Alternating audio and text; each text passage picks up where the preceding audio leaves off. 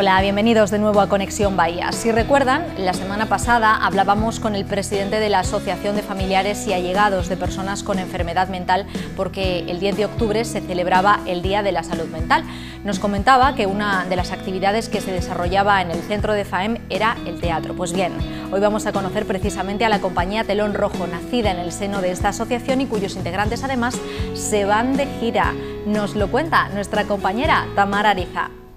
Los integrantes de la compañía Telón Rojo de Cádiz están nerviosos. Yo estoy nerviosísima. Y no es para menos, y es que este grupo de teatro amateur, que más que una compañía son un grupo de amigos, ha iniciado una gira que les llevará por toda la provincia de Cádiz e incluso hasta Sevilla. Ahí vamos a terminar, en Sevilla. Vamos a hacer una gira mundial, así por la provincia de Cádiz. Vamos a ir, claro, claro. Vamos a ir a Chiclana, vamos a ir a Conil, vamos a ir a San Lucas de Barrameda, vamos a ir a Jerez, vamos a ir también a Arcos y Puerto de Santa María. Y luego ya vamos a culminar en Sevilla.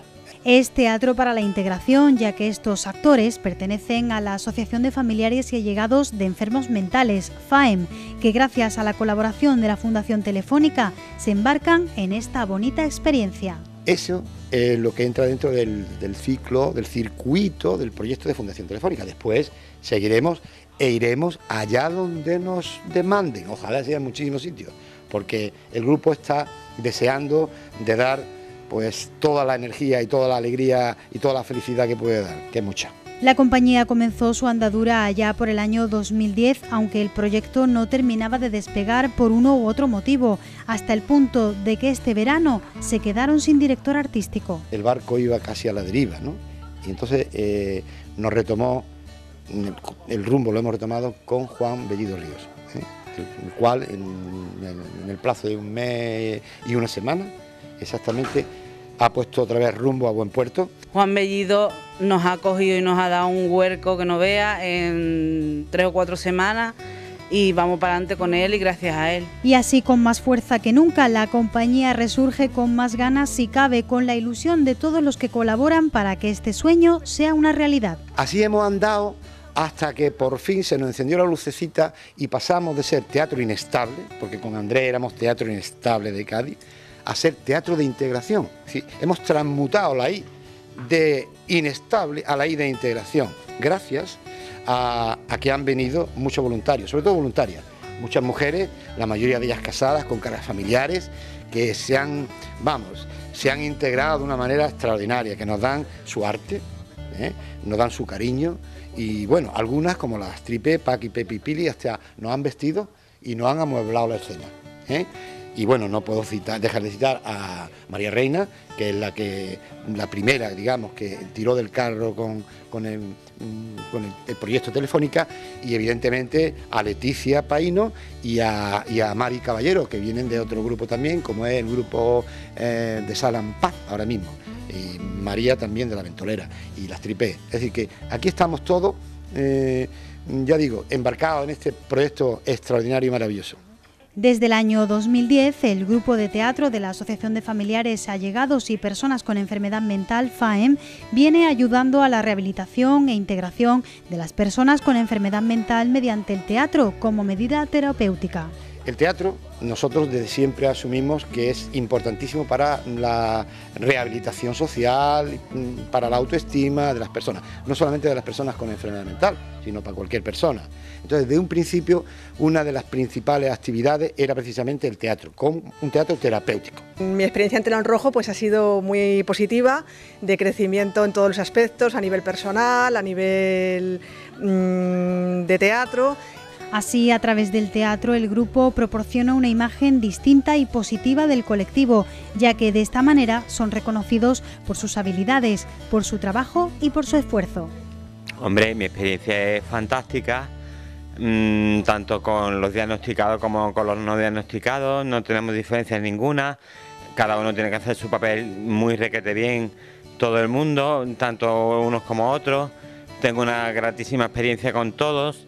El adivino oriental, el núcleo, el trabajo fijo y luna de miel, luna de papel son cuatro obras breves representadas bajo el título Insólito menú transcultural. Pero ellos les han incluido su toque personal y es que con una versión más gaditana estos actores llevarán una sonrisa allá donde coloquen su telón. Pues la verdad que es muy bonito porque nos va a dar la oportunidad de unirnos todos los compañeros, de integrarnos eh, y, luego pues de aprender, de ver nuevos sitios, de darnos a conocer, de desestigmatizar, de mm, bueno pues de que se vea pues que bueno pues que formamos parte de, esto. Nos llevamos bien entre los compañeros y las compañeras y me, encanta, ojalá sea muchas, muchas veces que se haga. Y es que Telón Rojo es mucho más que una compañía de teatro, es una gran familia. Hablarte de Mari, que Mari eh, es voluntaria también. Yo la madre, la madre de todo ello por ser la mayor. Yo, la mejor. Es la mejor. no, no, no. ¿Cómo es la? Ay, pues mira, yo, yo tengo otro grupo de Salampá y estoy muy, muy, pero que muy orgullosa de pertenecer a FINE colaborando con ellos. Los quiero a todos muchísimo y la experiencia más grande de mi vida. Un grupo de amigos donde nunca falta el cariño. Nosotros hemos entrado aquí, nosotros tenemos un grupo llamado Las Tripes, pero nos presentaron a este grupo y la verdad que estamos muy contentas porque son muy cariñosos, somos un grupo de amigos. Nos hemos adaptado muy bien los unos con los otros y estupendamente, la verdad. Como persona con diagnosticada, pues para mí la experiencia ha sido muy positiva, mm, he aprendido mucho, mm, todavía me queda muchísimo más por aprender porque tenemos una dirección artística fantástica y fabulosa y bueno, mm, solo decir que yo adoro a mis compañeros, a todos, los adoro, son mis compañeros y mis amigos. Todos los que están en el elenco, los que no desgraciadamente no estén o no puedan o no, no figuren en el elenco de actores y estén haciendo otras cosas que también son importantes, pues a todos los adoro y los quiero y estoy muy feliz de estar aquí. Pues mi experiencia es genial, te puedo decir lo mismo que mis compañeros, que todos nos llevamos un montón de bien, nos queremos un montón. Porque en Telón Rojo tienen muy claro qué es lo más importante. Nosotros todos somos iguales, todos. Así que si tenéis la oportunidad no os perdáis la obra que han preparado los chicos de Telón Rojo, un elenco que tiene mucho que ofrecer, con mucho talento y que seguro que os va a sorprender. Mi amigo, y ya lo nombraba antes eh, Andrés, mm, me dijo un día que a los, no, que a los que no estábamos diagnosticados nos llamaba a ver los comunes. Y luego lo he comprendido perfectamente, porque ellos son extraordinarios. Nosotros somos los comunes y ellos son extraordinarios. Y voy a poner como ejemplo a mi querido hijo Pedro, que anda por ahí. ¿eh? Ahí está mi hijo, que está con este proyecto totalmente ilusionado. Es decir, que el teatro está haciendo una maravilla en muchos de ellos. Después de todo lo que has hecho, no tengo más remedio que quererte para toda la vida.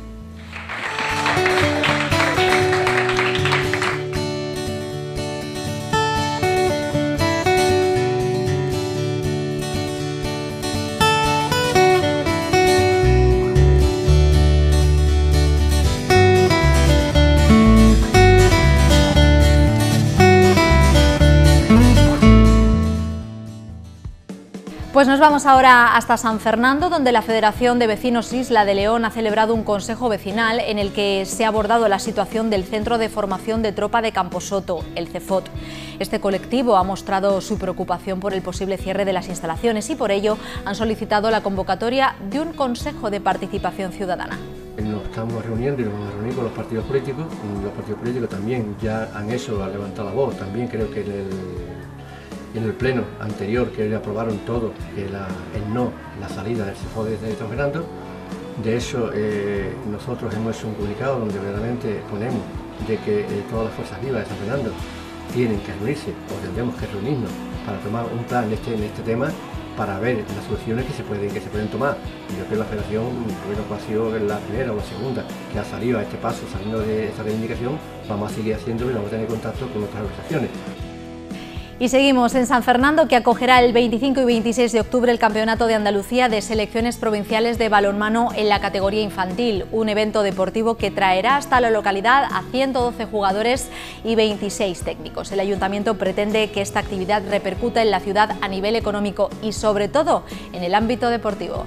Bueno, una vez más, eh, San Fernando eh, acoge un evento deportivo de primer nivel los días 25 y 26 de, octubre. 112 jugadores y jugadores, 16 técnicos y equipos de distintas provincias andaluzas, Sevilla, Córdoba, Huelva, Cádiz y el anfitrión, el Club Deportivo San Fernando. Hay que, tal como ha dicho el alcalde, agradecerle a, Pedro Montiel el trabajo que lleva desde, hace 25 años, que el Club Deportivo está de aniversario, de alguna manera culmina todo este todo este, todo este, este, proceso de aniversario, todo este año de aniversario, culmina un evento deportivo de, la importancia de, que, tiene, que tiene este, por el trabajo que, lleva haciendo tantos años el Club Deportivo San Fernando y Pedro eh, al frente del mismo.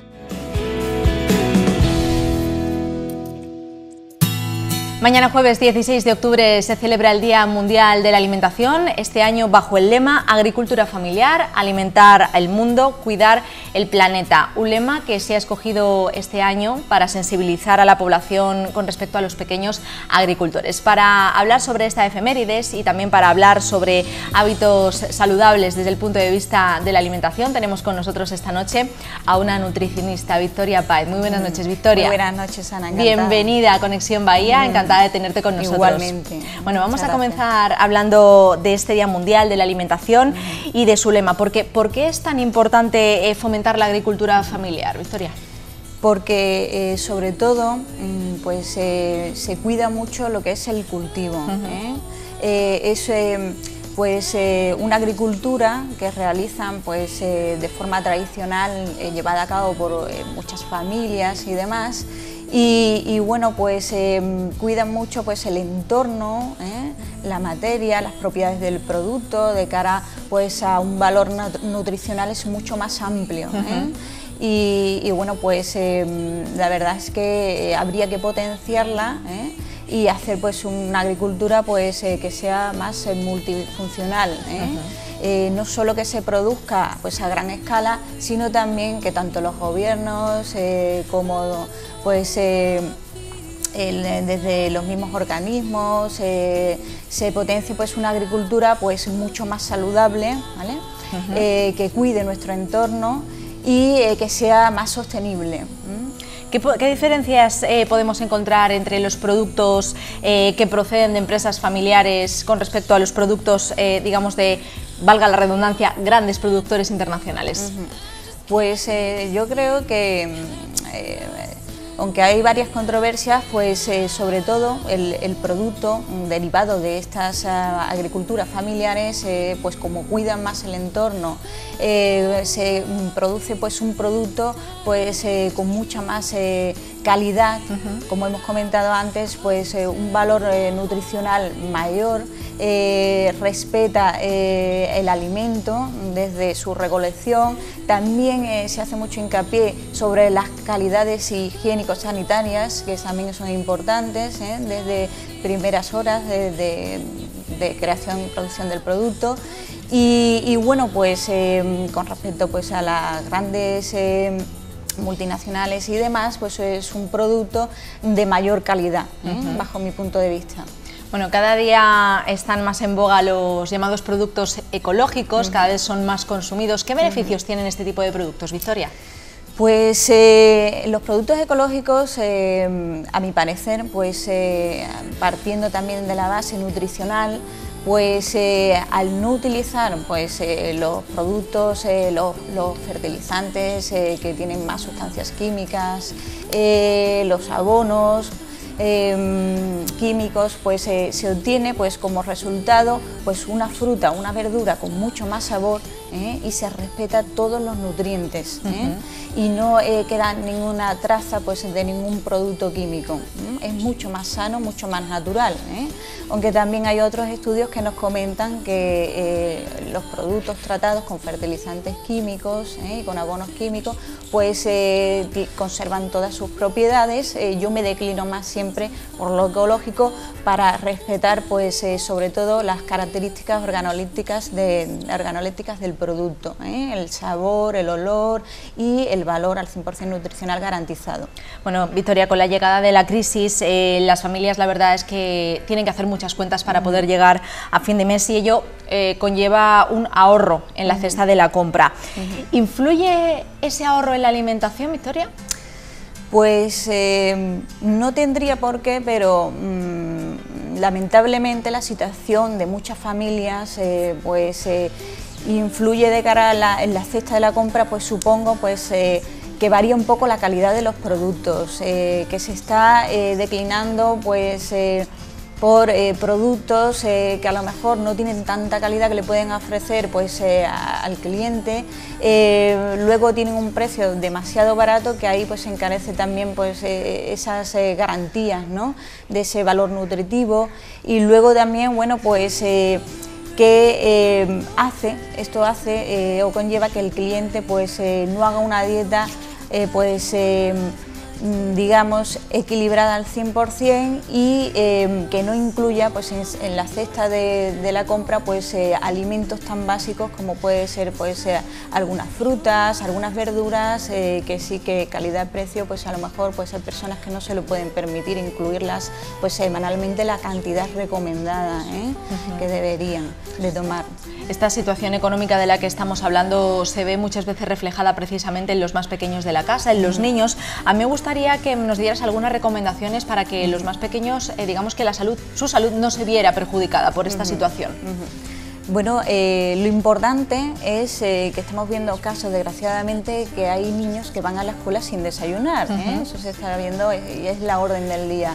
Eh, gracias pues, a intervenciones eh, de los gobiernos, eh, gracias a incluso pues, no solo asociaciones que hacen un papel importantísimo, sino también a personas que son muy solidarias, lo estamos viendo en la prensa, esas noticias de que se está ayudando mucho, sobre todo los niños, que vayan pues, desayunados a la escuela, que es un hábito muy importante y es la comida pues, más básica y más fundamental para que ellos puedan tener un buen rendimiento en la escuela. Entonces, eh, partiendo de eso, eh, se debería potenciar pues, que los niños realicen sobre todo sus cinco comidas al día, ¿eh?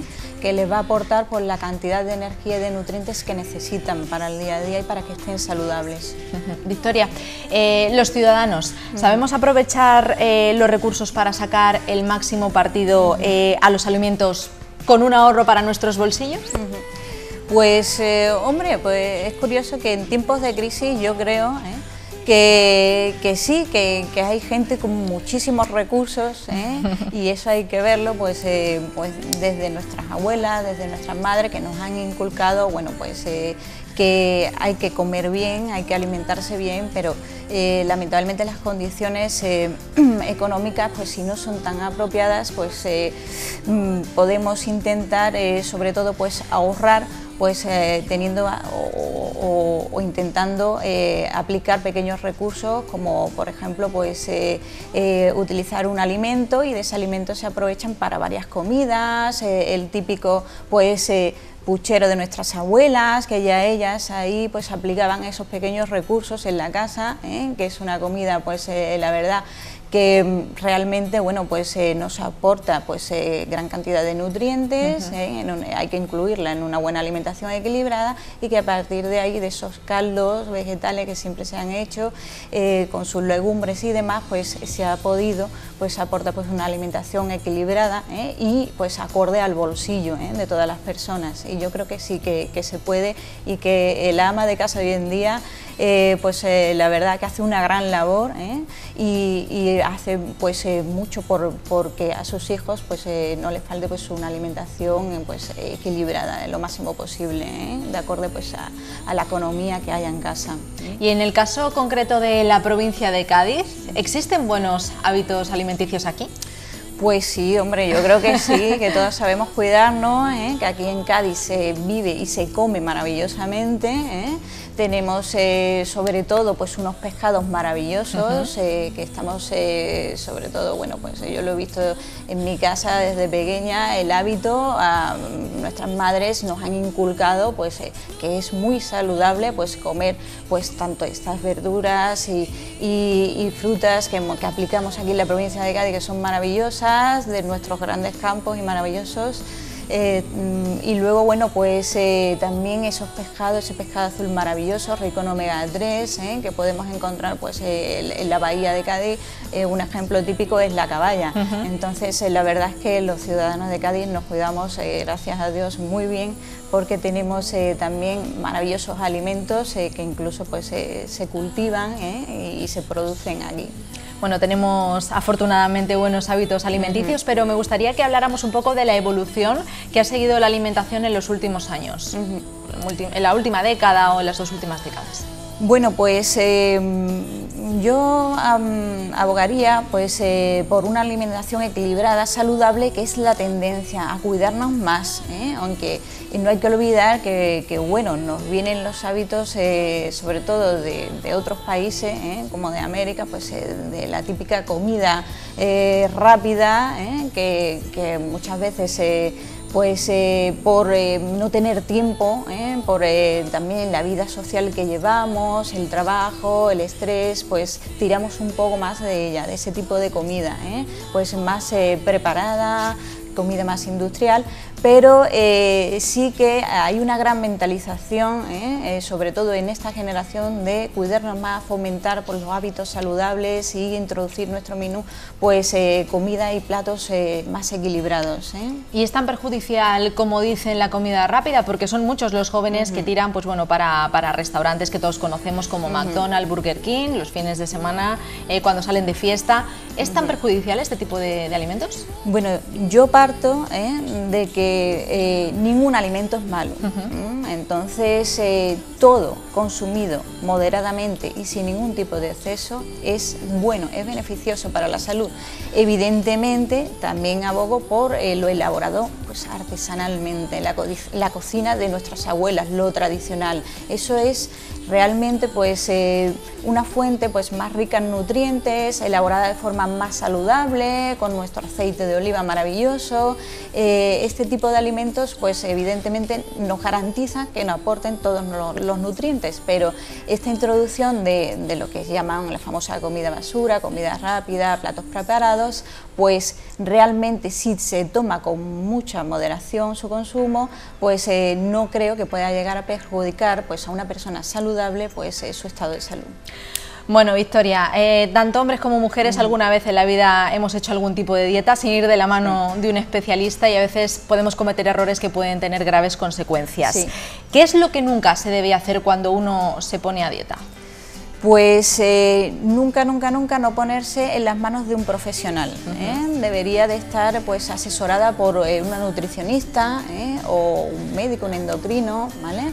para que le aporte pues, una dieta que cubra sus necesidades ¿eh? fisiológicas, ¿eh? Eh, sobre todo pues, sus necesidades energéticas, sus necesidades de nutrientes. Si esa persona está enferma, pues una dieta adaptada pues, a su patología, a su enfermedad y sobre todo bueno, pues, que le ayude con un poquito de actividad física pues, a bajar el peso pues, de forma saludable. Nunca tirar pues, de esas dietas milagro porque no existen dietas milagro que nos puede llevar a una malnutrición ¿eh?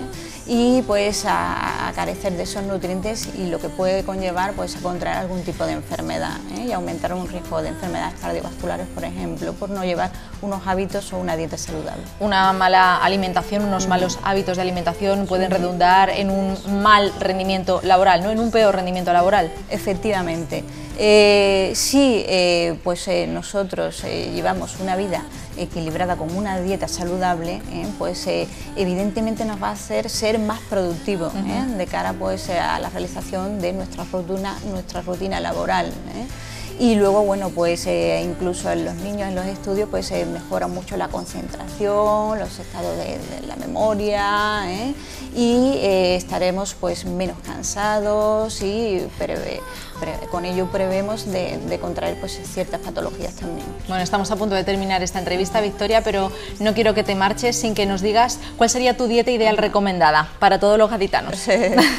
pues eh, la dieta gaditana, pues eh, lo ideal, hombre, pues es tirar de nuestra dieta ¿eh? de toda la vida, que es la dieta mediterránea, que es de las mejores y es la que actualmente yo creo que realizamos muchos gaditanos en nuestras casas, tirar de las legumbres, de esos platos eh, elaborados por nuestras abuelas, de tirar del pescado, ¿eh? una fuente que aquí pues la verdad no carecemos y tenemos gran calidad de alimentos y de la fruta y de la verdura que hay que incluirla siempre en una alimentación saludable. ¿eh? Pues ya tienen todas las claves para estar bien alimentado, no, no podrán decir que no. Victoria, ha sido un placer tenerte pues aquí con nosotros.